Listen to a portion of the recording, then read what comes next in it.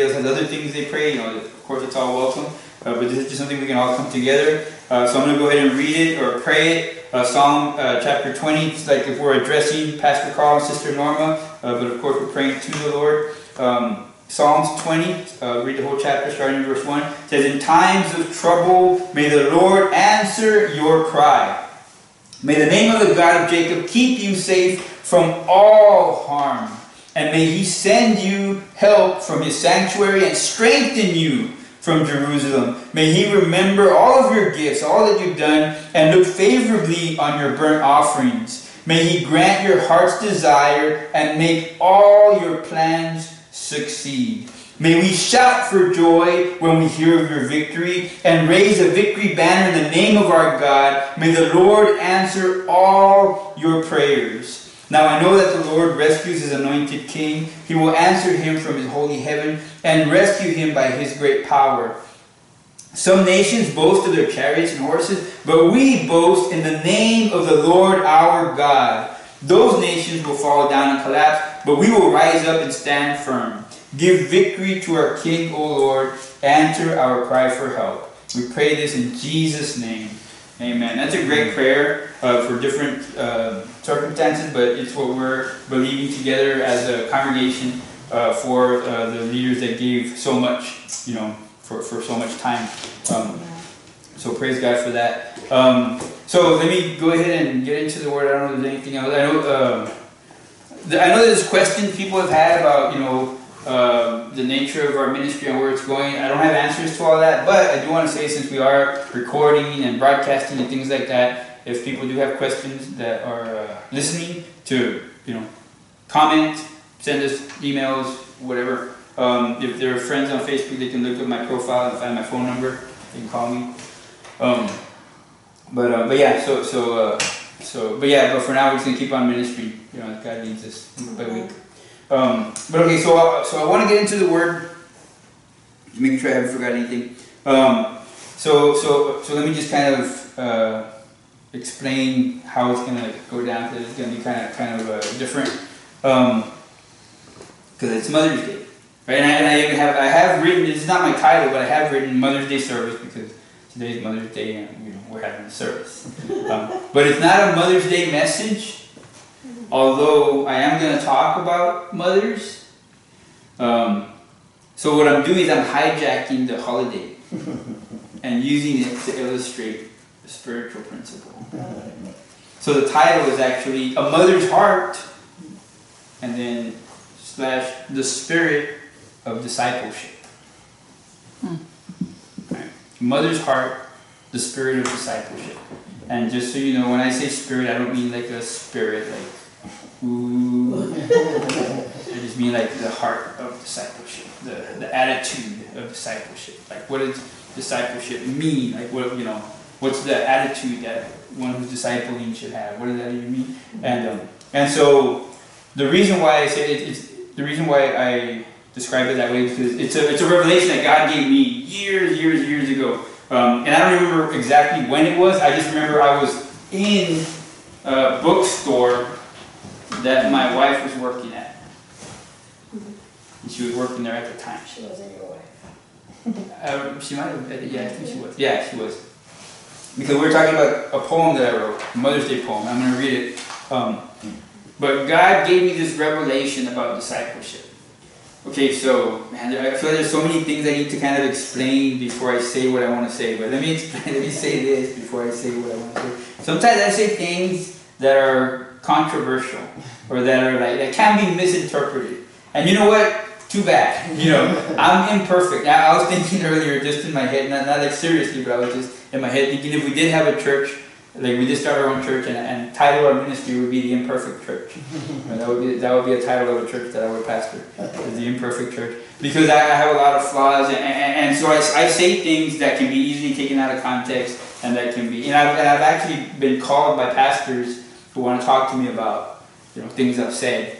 Um, but but sometimes to make a point, you know, I'll say something, and and um, and you can take that you know to extremes, right? Especially in today's you know atmosphere, especially politically, things are taken you know, to extremes just to prove somebody wrong, just to, and so you could easily do that to me. Probably any, any almost any sermon I preach, you could probably do that. But anyway, so I'm gonna do that today. Um, so, so years ago, God gave me this revelation. This revelation was that a mother's heart is the heart that to have in discipleship. This was, like I said, years years, years ago. I've never shared it. I've never preached it. I've never, you know, said it to anybody else. You know, it's just something that I've known myself because, you know, it sounds kind of weird, especially when you break down what you're going to do, how I've understood that. Um, but I believe that um, discipleship is uh, very, very important. It's something from God's heart. But I believe that a mother's uh, love is a good illustration of how, I mean, a good illustration of how, how discipleship works. Don't get me wrong, I'm not claiming to understand a mother's love or to be an authority on a mother's love. You know, I hardly, actually just the other day there was a disagreement uh, not a disagreement, but a discussion between um, two parents, me and Lydia. it wasn't an argument, it was just like, hey, you know, we were talking about. Let me be more, vague. There's a parental discussion about children, and the discussion went something like, hey, you know, our child, you know, is in a situation that they might fail, they might, you know, end up failing if they don't you know, um, do what they need to do, they're going to mess up. They're going to have a, a, bad experience. And the mother's response, the father's response was, um, let them fail. let them fail. Let them learn from their mistake. They're going to fail. They're going to learn from their mistake, and they're never going to do it again. And I was like, you know, I'm, you know, not that these words were spoken literally, but the heart of the mother was, I'm, I'm not going to let my child fail. I'm going to protect my child from failure. I'm going to make sure my child you know, accomplishes what they need to accomplish, that they complete what they need to complete.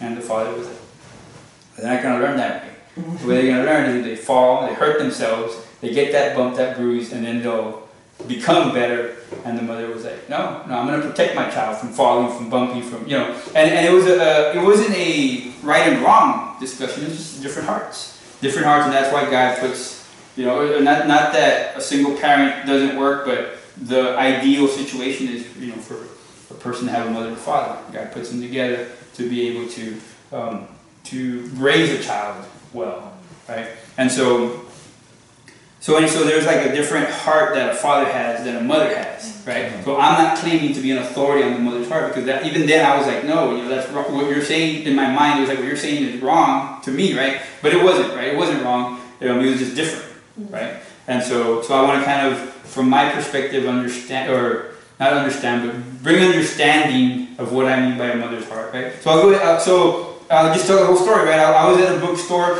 and they, where my wife used to work, and um, they used to sometimes um, use stuff that I wrote. I used to write things. I used to write stories and poems and stuff, and they would have like something like I had a little booklet with poems, and they would they would actually sell them there for me. Like they would buy them from me, and they would sell them also plaques and little poems, right? And so I wrote this poem. It's a Mother's Day poem so it's fitting for the day. And I had no idea how this could um, um, point towards discipleship. And even like if you read it, it doesn't make sense. But the reason why it, it the Lord showed me that is because there was a mother who was reading it, right? And I was talking to her, right? We're, we're reading it, and then the mother said, This poem brings me a lot of conviction right, as a mother. And I, and I, and I was confused when she said, she didn't explain either, um, but God, God showed me. So let me read the poem, right? It's called The Watery Shield. Everybody in my family's heard it at least. Um, and, so, but I'll, I'll read it um, again as a refresher. But okay, so the poem is called The Water Shield. It's a little long, uh, but the perspective of this, of course, I wrote it, right? I wrote it about my mom who's here, and, and so um, this the the perspective is just is this proud, confident man. Uh, you know, talking about his life, or it's a, it's a young man talking about his life and how great his life is. He's a believer. You know, he's got faith in God, and he believes that that he somehow deserves God's favor, and that God loves him. And it kind of it starts off with the person feeling entitled to God's favor, right? That's kind of the, just to kind of lay out the, the, um, the setting, right? How it is. So that that man is speaking. So the watery shield. Each day I step out with confidence and pride, throwing caution to the wind with no reason to hide. I give thanks to my Lord because I knew that He was near. He's my light and salvation. Whom shall I fear? He's given me the land and I'll take it by force. Was there need to worry? No, no need, of course. Then one night as I slept, I slipped into a dream, and an angel showed me what I had not seen. Each day, at each corner, there awaits me a snare, carefully placed and I unaware. And dangers around me that I couldn't see, as if there was an enemy's plot against me. On and around me was this watery shield, and no trap or evil could break the force field. This must be the favor of God in my life, for I walk and I face evil, yet I suffer no strife. Then the earth seemed to tremble, and the angel spoke out. His voice was as loud as a thundering shout. There is someone who stands in the gap day and night and prays for your safety with all of her might. That which surrounds you is a shield like no other, for God has made it from the tears of your mother. I stood in humility, for I then understood. What I lacked in my life was more gratitude. So, so Mother, I ask that you will forgive. You are the reason that today I still live. You gave me my life on the day of my birth, and through prayer preserve each day on this earth. Though it took a scolding from an angel above, I thank you for my life and I thank you for your love. Right? So that's the poem, right? The Watery Shield. I wrote it for my mom, and I mean every word of it. Um, you know, she has preserved my life, and I should be dead uh, if it weren't for her prayers. Um, but it was kind of threw me off when I when I when this mother read this and said she felt conviction. I was like, why conviction? I mean, I, I, as a son, I would feel conviction, but her as a mother, she said she felt. She didn't explain. She just like said, yeah, it always convicts me as a mom. And then, and then, so I kind of walked away just confused. But then the Lord answered, you know, answered me, and you know, you know, some and showed me how, you know, her prayers, you know, you know, how, the the responsibility that a mother has to be praying for her children and to be, and sometimes, you know, it's, it's I don't I don't agree with it, but sometimes there's guilt involved, right, in moms and them, you know, looking at the, their, their children's lives and how they're going about it and, and their role in it, right? And so so God started to show me the, the mother's heart. It started to show me her prayers and her efforts and the things that she does and why she does them. And I didn't understand that at the time. Um, and then, so like I said, I'm hijacking Mother's Day, and he started to show me how discipleship was like this. And I started to feel conviction about discipling people, about you know my care for the others' walks, for their life, for the for the for the results of their life. Hopefully, through the message, that'll make sense. Um, but I am going to say a few things that might be controversial, like I said. Um, but let me get into that. I just want to lay out where that came from, right? And so now, you know, uh, I, I, feel the Lord leading me to take this opportunity to share that, right? But definitely not, not taking anything away from a mother's heart, and hopefully we'll get more appreciation for it. Um, but also see how God would have us apply that to discipleship and how He wants to bless His church through this. Amen? Amen. Amen. So, um, so that's why it's called the mother's heart, the spirit of discipleship, right? And so, so the, the reason why I say it's controversial and a perfect example, there's a movie um, that some like, some don't like. Uh, I think it's called The Shack, right? And it's a movie um, based on a book, and um, and so there's a lot of ministers who don't like that book, uh, movie or book. Uh, they say it's controversial because, and I, I do like it. Um, again, I'm imperfect. I'm not, you know, saying that it's that it's endorsed by God or anything like that. Um, but what I like about it is what others don't like about it. What they don't, what people don't like about it is that there are scenes, there are parts of the movie is where God is a woman, right? God, he, he's played by a woman, and actually that's how God in the movie is first introduced as a woman. And so, so through a big chunk of it, it's a woman, right? And, and then, and, but it's God, right? And so that's where people are like, you know, got you know Hollywood and uh, whatever, all the controversy and all this stuff. Um, but later on, God comes out as a man, you know, as a you know, first he's a black woman and then he's a Native American man, and it's like different. So, so but it, it explains it in the movie that that you know whatever you you know I, you're seeing me like this because this is what you need today, right? And so so that's the part that I like, right? Um,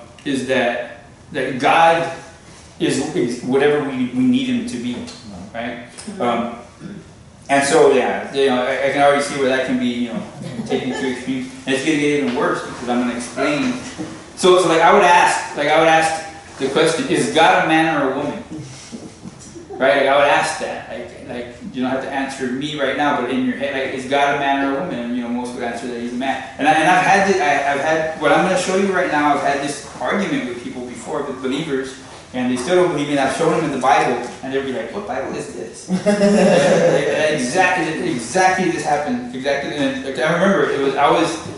I used to work in a grocery store. I didn't work for the grocery store, but I worked in it, and I had a little booth just like this and I used to sell things, and then there was uh, somebody who was talking to me about marital problems, and I was saying, you know, you know, remember that women are, are also made in God's image, but no, not man made in God's image, and we're like going back and forth, and I showed them in the Word, and they're like, what, what Bible is this? I didn't say that, and it was just a regular Bible. I still have that Bible; it's all beat up, it's old, but but anyway, so. Here's here's the controversial part. So is God a man or a woman? Well, God God is a man. God is a father, right? God, God, God is a Father, Son, and Holy Spirit. Um, I, have heard teachings. Um, I wouldn't say that I would teach the same thing necessarily, but I kind of understand that. I've heard teachings where they say that the Holy Spirit is like the feminine side of God, or has a more of uh, feminine type qualities. And uh, feminine is not a bad word, right? feminine is not an insult, right? Let me, let me say that. Right?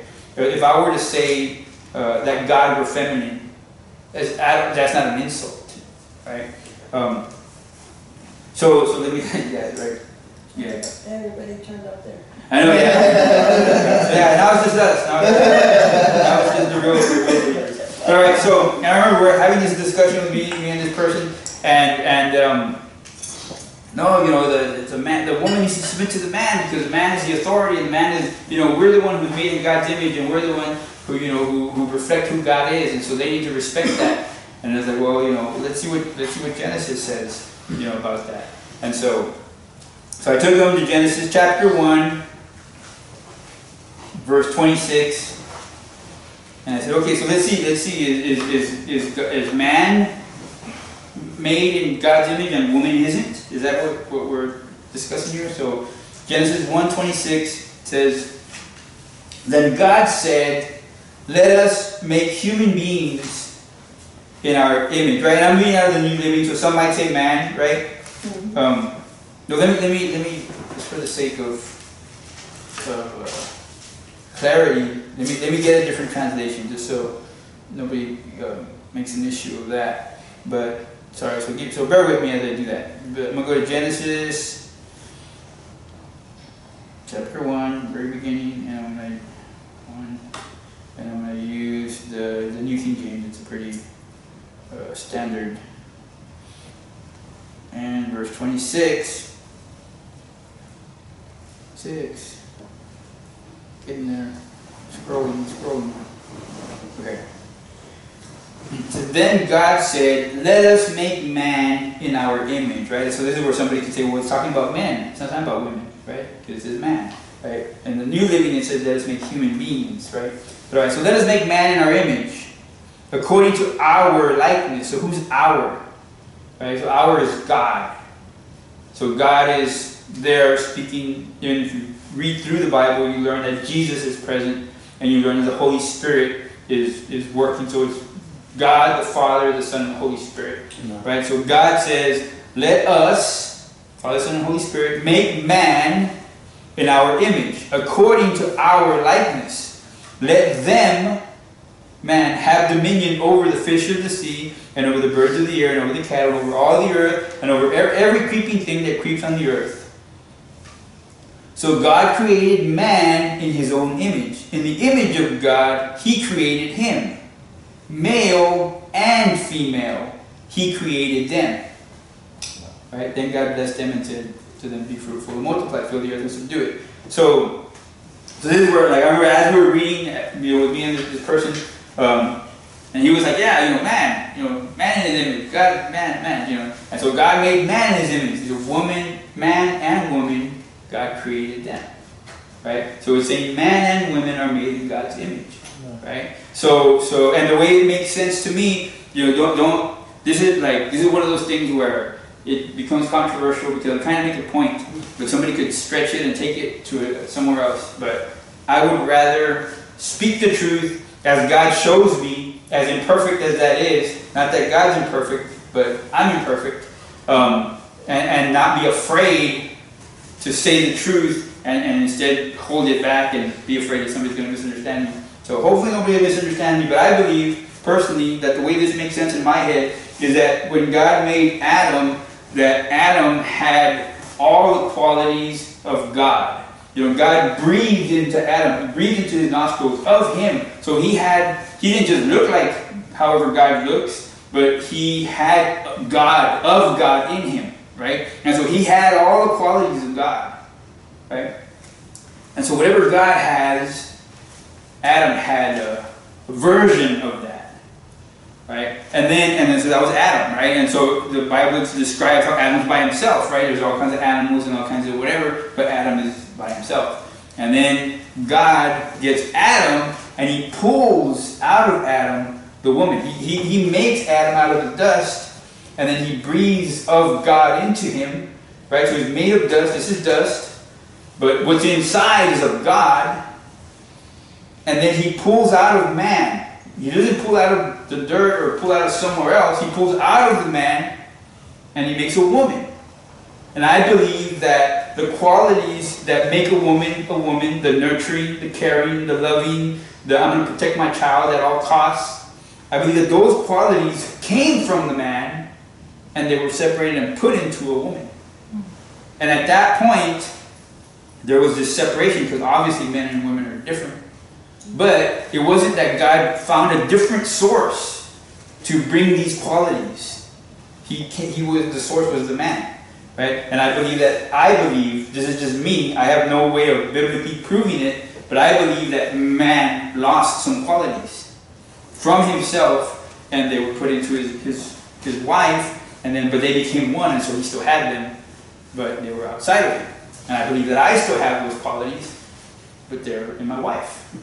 And so whenever me and my wife are at our best, though we might be different, then we are in God's image. That's what I believe, right? And that's what I believe the Word of God teaches us, right? So you kind of get it where I mean with the controversy and all that stuff. I don't mean it to sound like spooky or, you know, like weird. I just mean that a woman should feel like when she's at her best, she is reflecting who God is. That she shouldn't have to try to be a man in order to be in the image of God. Right? That that so God has I believe God, everything that you think is valuable and is godly in a woman, and the Bible does go into detail of that. I'm not going to do it today, but we can, you know, everybody refers to Proverbs 31. You know, but there's there's qualities throughout the Word of God um, that reflect how a woman is different than a man. I believe God has all those qualities. I believe God has the nurturing, the caring, the loving, the protecting at all costs, as well as the authority, the let them learn from their mistakes. You know, the the we're going to train them, we're going to teach them, we're going to strengthen them. You know, He has both. He has He's a perfect balance of both. And so, um, so we can't say that woman is not made in God's image. We have to say that woman, because the Bible says it, is made in God's image. So then, what image is God in? God has those qualities. So that's why I say it's not an insult to say that God is fat. You know, to say that God um, has feminine qualities. You know, you snap that out. You know, that's post that all over the internet. That's gonna sound horrible. I don't mean it that way. I don't mean that God is lacking any masculine qualities. I just mean that He's the perfection of both. Right, does that make sense? Uh-huh. Anyway, so yeah. So now that I've lost all of our followers. Yeah, I just have one. Yeah. Um, Kathy. Yeah, thank you, Kathy, for, yeah, I probably lost track, but still. Um, Sorry, I'm just kidding, I'm just kidding.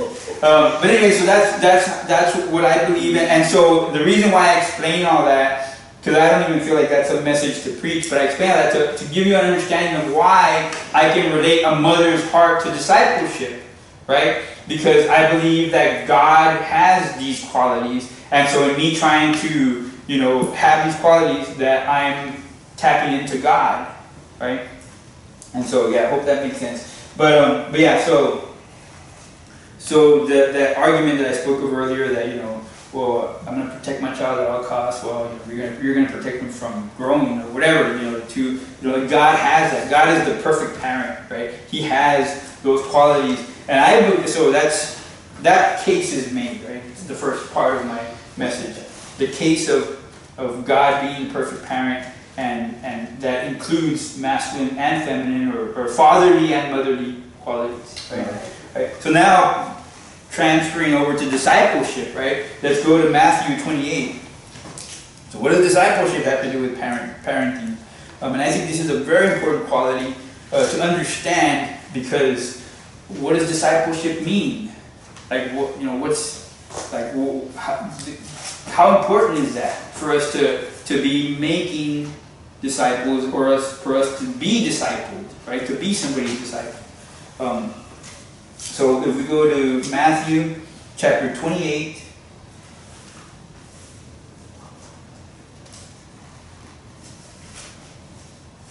says, okay, I thought I said 9, but 19. There's like a little weird mark next to the 9. Um, 19, sorry.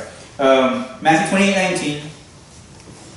Well, sorry, 18. And 18 it says, uh, Jesus came and told his disciples, I have been given all authority in heaven and on earth. Verse 19, therefore, right, because I have all authority on heaven and earth, therefore, go and make disciples of all the nations, baptizing them in the name of the Father and the Son and the Holy Spirit.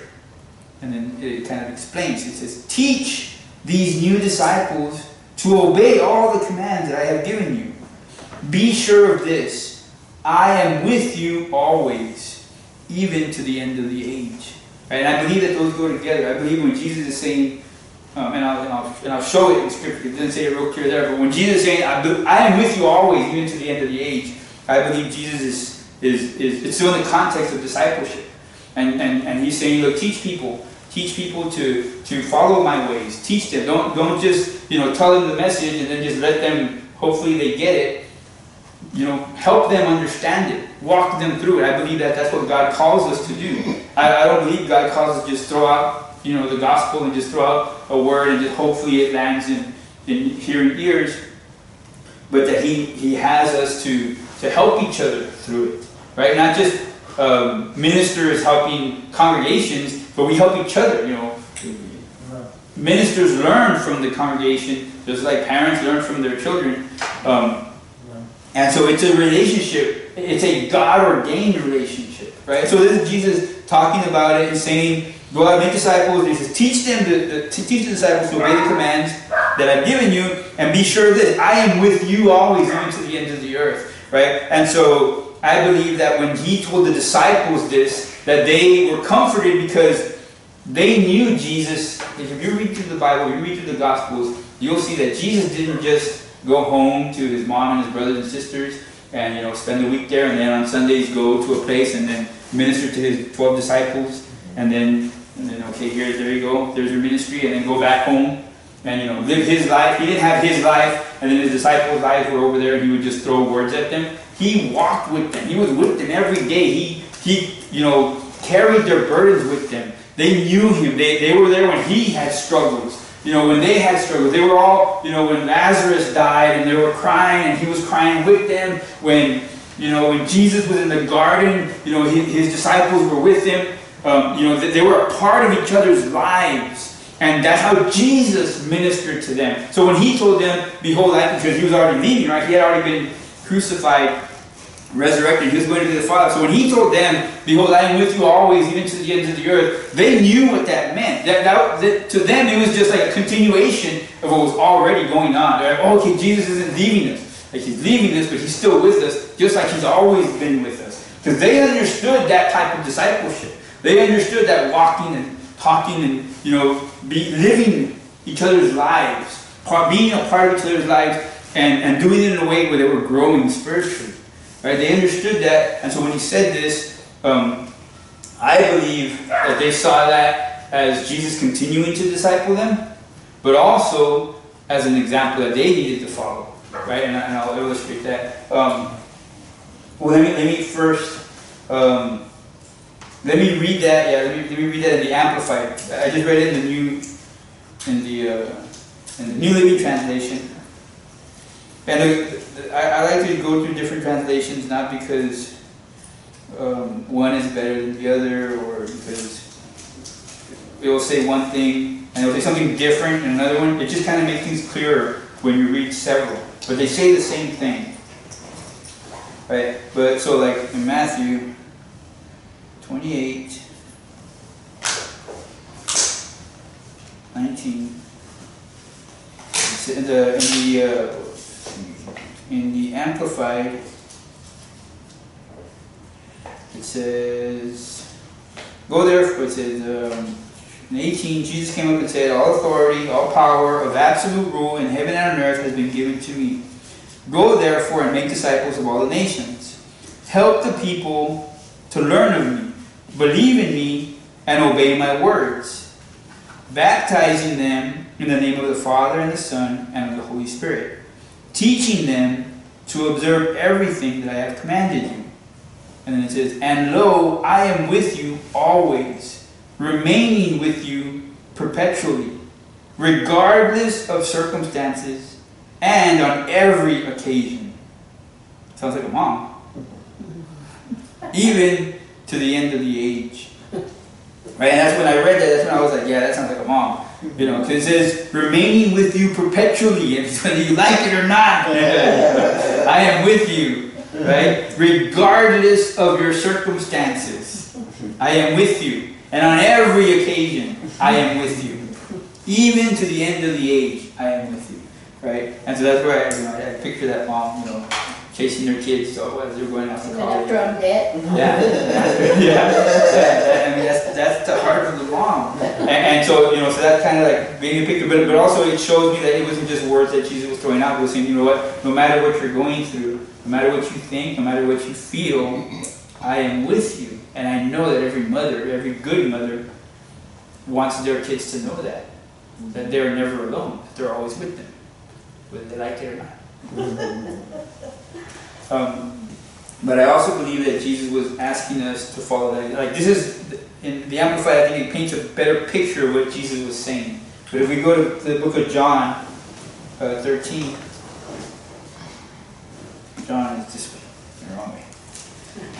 John 13.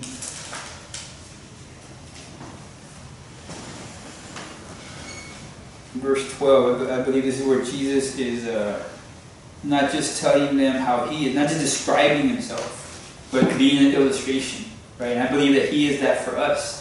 I believe that Jesus is a life illustration for us to follow, not just for us to understand or know or think, oh yeah, this is what our Savior was like. But I think that it's an example that we are to, to, to we call it to implement, to, um, to um, we call it reflect that. There's a word. Emulating? Yeah, probably emulating. that sounds about right. Um, but uh, so John 13, verse 12, right? It says, So after washing their feet, right? So Jesus just washed his disciples' feet, right? He put on his robe again and sat down and asked, Do you understand what I was doing?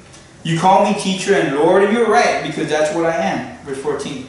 And since I, your Lord and teacher, have washed your feet, you ought to wash each other's feet. I have given you an example to follow. Do as I have done to you. I tell you the truth. Slaves are not greater than their masters, nor is the messenger more important than the one who sends the message. Now that you know these things, God will bless you for doing it. Right? And so this is where Jesus, you know, explains it's not just what you're seeing me do or learn of me, but do the things that I do. Right? And so when Jesus is telling his disciples, go and make disciples, go and, and, and you know, teach them, show them the things that you've learned from me. And then when he says, I have been with I will be with you always, I believe that they understand that they need to, not that that you're gonna be with whoever you're discipling all the time, but you're going to be there for them. You're going to be there in spirit, right? Because like I know, you know, that I have people with me, even when I'm all alone, right? Even when there's nobody with me, I know that there are people with me. There are people supporting me. I have, you know, great, wonderful uncles who are far, far away that are with me. Right now, they're with me. They're supporting me. They're praying for me. They, and, then, and then they send me words of encouragement right? And other ministers, and even people that maybe don't even think about me now, but they've, they've you know, invested into my life, and they're with me, right? And I believe that the disciple understood that, that we're supposed to have that kind of impact on each other, right? We're supposed to help each other grow. But I believe that the Word of God um, puts it in the context of uh, parenting, in a sense. Um, let's go to Ephesians chapter 4. Um, and, and I'm like approaching nearing the end of the message. we're getting there. Um, but, but so I just wanted to make sure that we understand that you know God is the perfect parent, right? And that Jesus asked us to be disciples as as uh, using Himself as an example, right? Make disciples and be disciples, you know. And He was an example. And then I want to show how discipleship is like parenting, right? That, that's this is like the last part of the message. Um, Ephesians chapter four.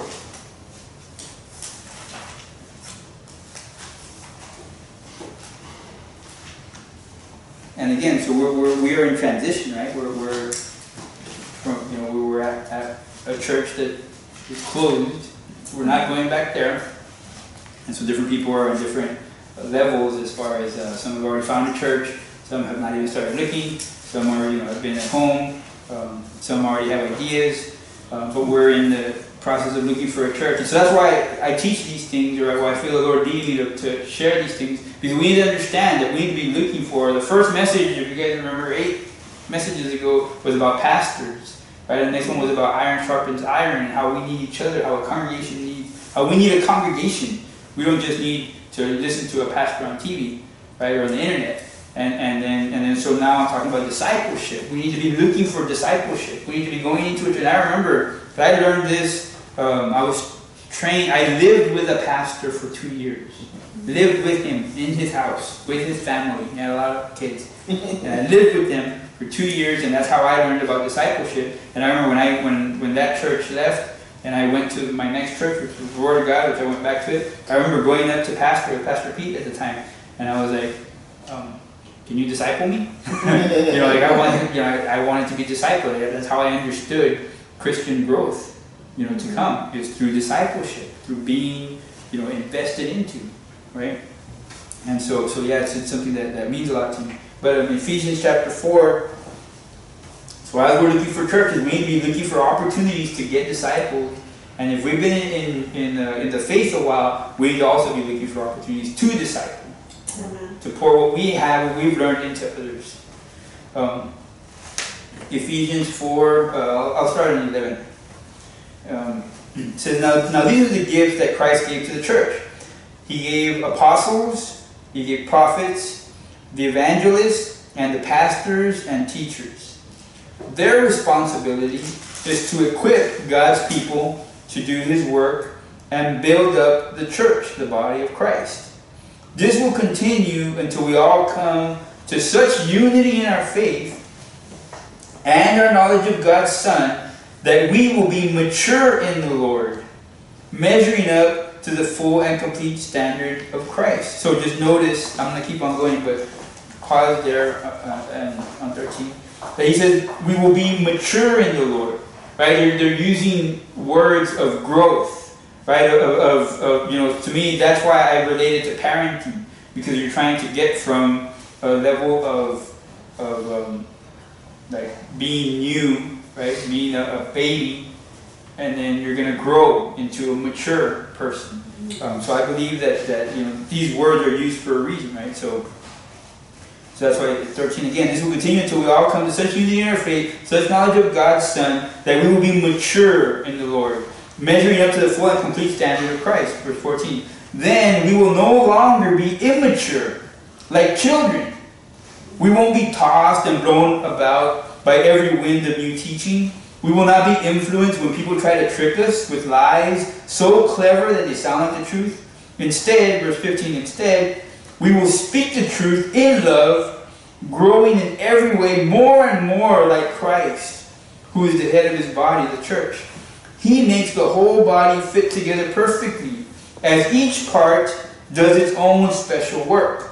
It helps the other parts to grow, so that the whole body is healthy and growing and full of love. Right, so this is the picture that the Bible gives us that we are to be like as children growing up. That's how we should be in our faith. We should be looking for growth opportunities for for you know not staying in the same place that we are now, right, or the same place that we've been. You know, there's, there's always a, a, need for growth, and then and you know not.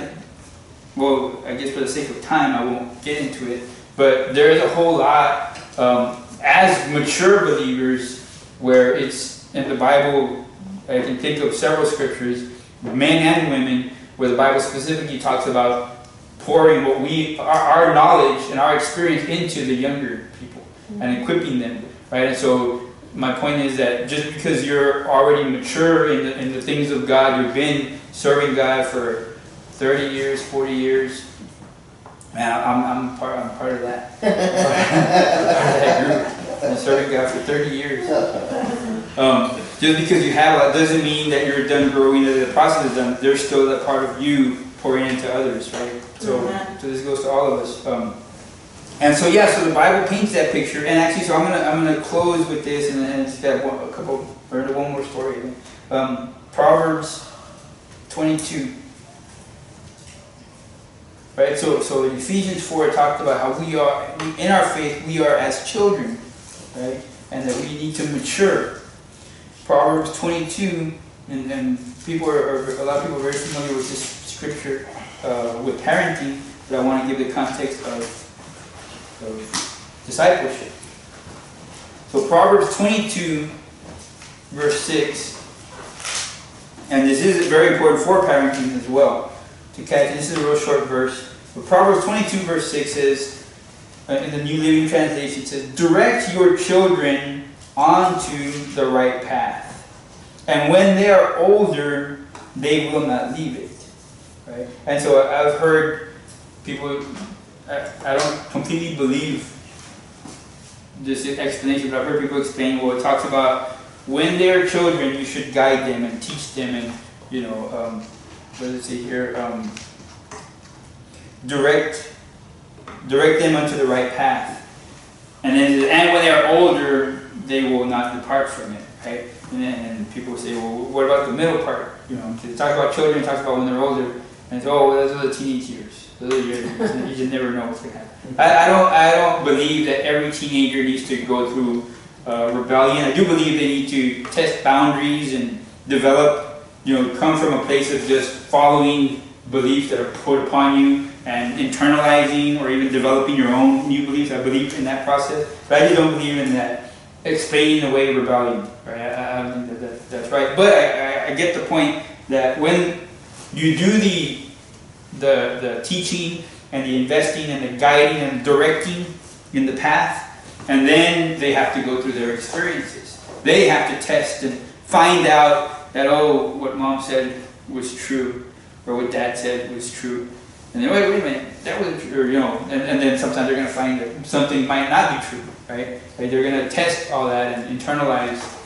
Um, one thing I can say to children about parents, I feel like I've said this before, I'm not sure if I have, um, is that a good parent, or even a so-so parent, is, go- is only going to tell their children what's best for them or what they believe to be best for them. In other words, a child shouldn't feel like they're going to come to the parent and the parent might try to trick them or try to tell them something that they mean for bad intentions or for, you know, not for their best.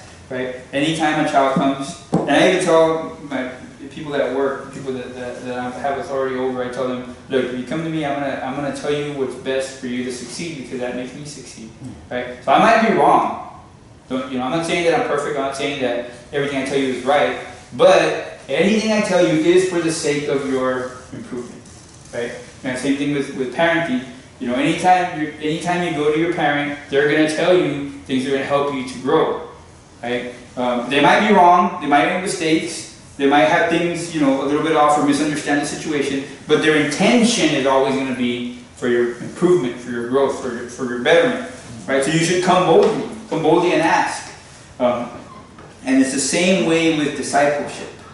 It's the same thing where, you know, we should be seeking out people who, who are newer, who are inexperienced, and to develop them, to help them, to help them walk. And, and, and this, doesn't, this isn't an age thing, right? And, you know, I've seen, you know, young people, you know, minister to older people, like elderly people, right? It's not an age thing. It's just a willingness to, to impart you know, what we have, you know, what we have of God to impart into others, right? So it's not about, you know, okay, well, who's younger than me, you know, because sometimes they're younger or more mature than we are, and, vice versa, right? So, but th- that intent should be there for the in the body that we're, we're going to be speaking things to help each other grow, right? To help de- develop each other, right? And then and then we go through our, our challenges, we go through our storms, and the, the, but if we do it, then in the end you know, we're going to stay on the path, right? Or what does it say?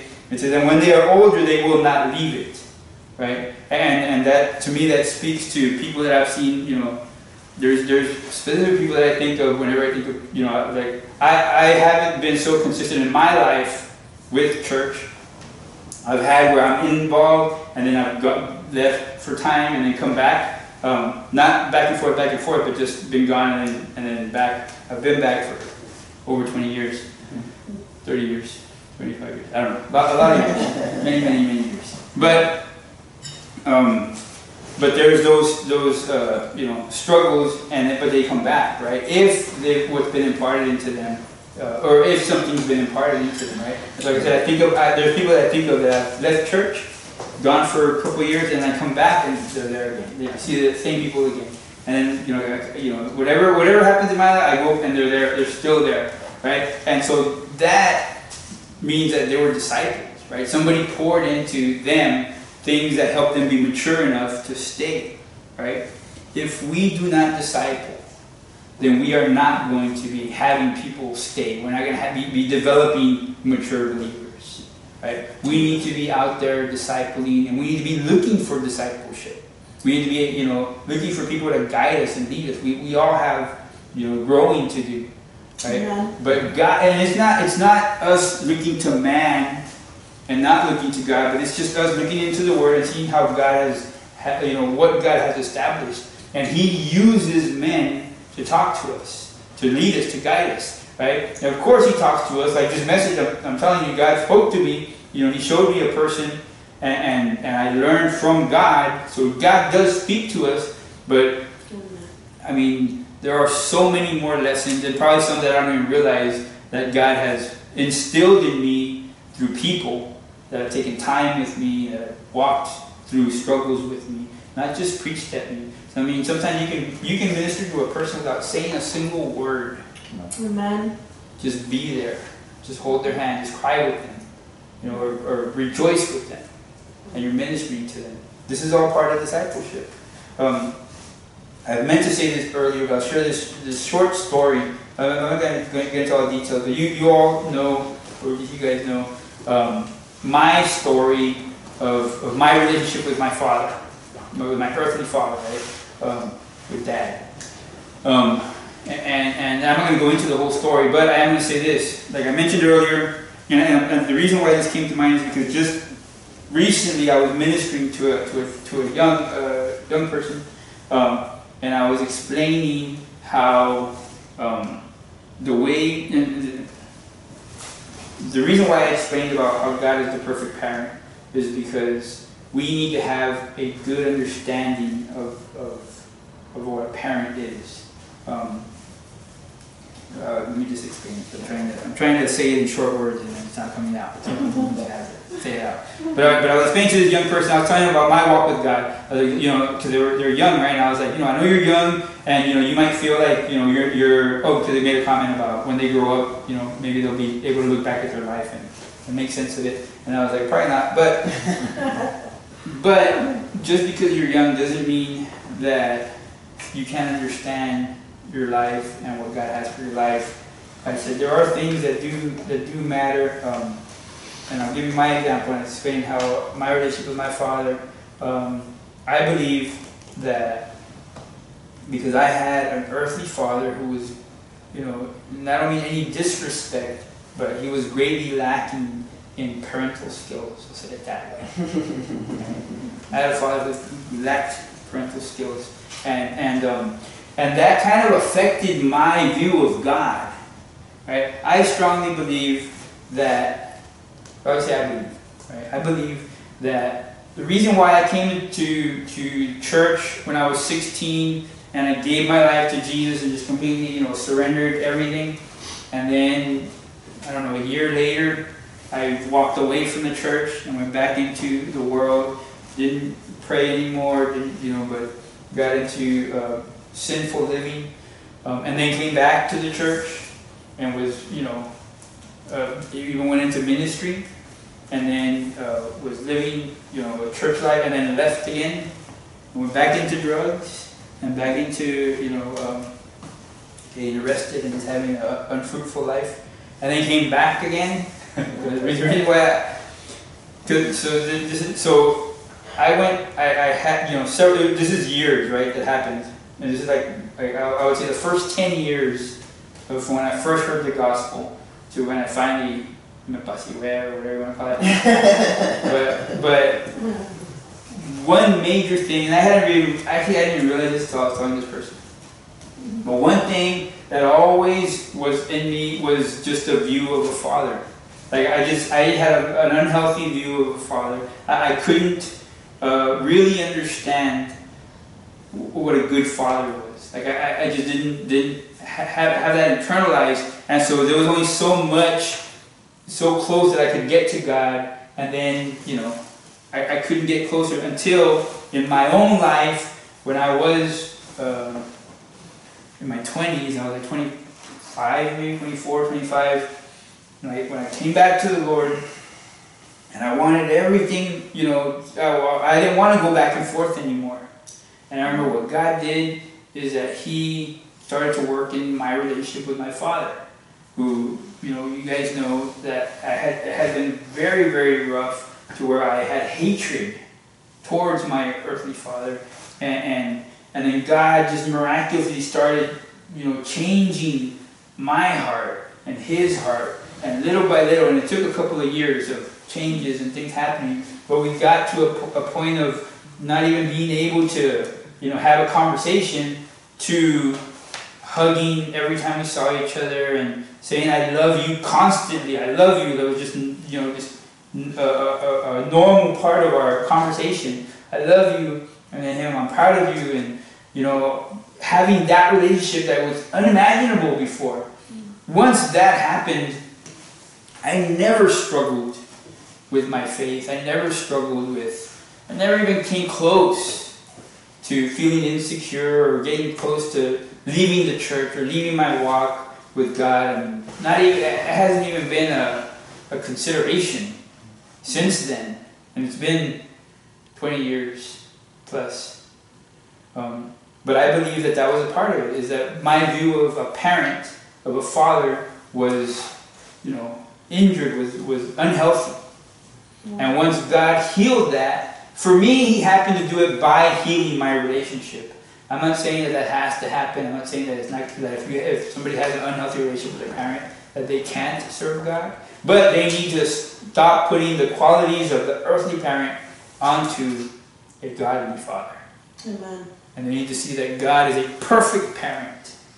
He's a loving, caring, nurturing, discipling, authority, you know, all those, he's, he, he's all, he's a perfect parent. And when, when that view of God as a perfect parent is healed, then we're able to be secure, as any child is secure when his parents are loving each other, when they're together, when, when the home is safe, the child feels secure. Amen. When we have a view of God as a healthy parent, our faith becomes secure. And, and you know, that can be taken different ways, but I believe God has me sharing that for somebody, right? And so, so yeah, others might feel differently, and there's others might have other stories of how they struggle with their faith, and some other totally different way that to do with parents, how they um, became secure. I'm not saying this is the only way, but this is a way, right? And God is the perfect parent, right? And so, if we understand, and I know I didn't get so much into the heart of a mother, but I'm done with I'm done with the message.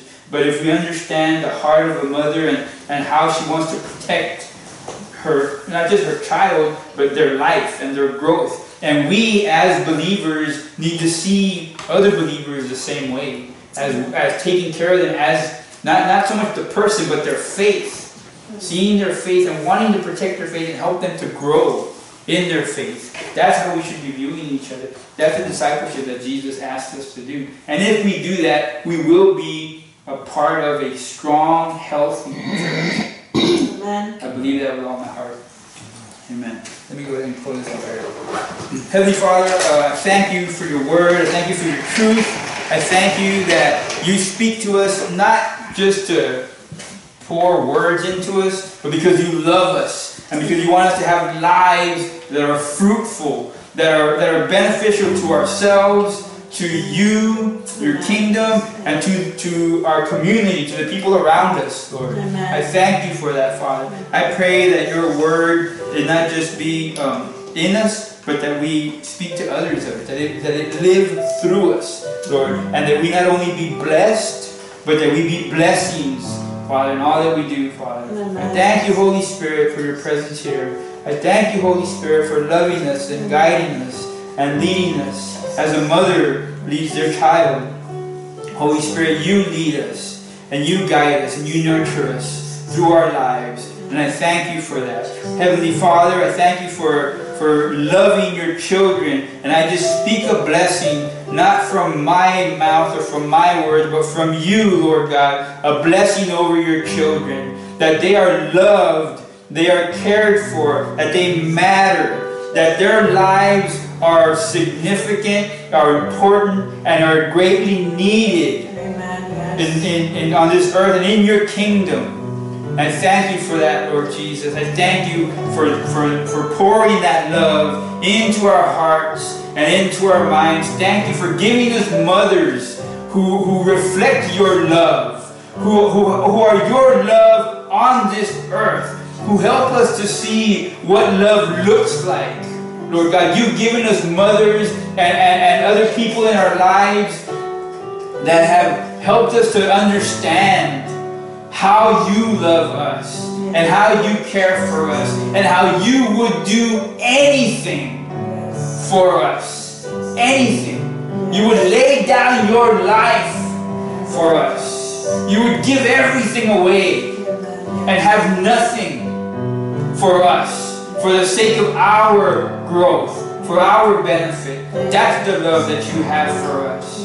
And that's the love that you've allowed us to see in our mothers and other people that have poured into our lives. And I praise you for that, Lord God. Help us to, to have a day of honoring our mothers today. And I pray a blessing over, over all the moms, Lord, that, that I know that, that, that, that they have an imperfect love. But Lord, but they have access to a perfect God. And that through you, Lord, they can be a perfect mom to their child Yes. as they walk um, in your ways, as you guide them and lead them. Lord, I bless every single mother. In Jesus' name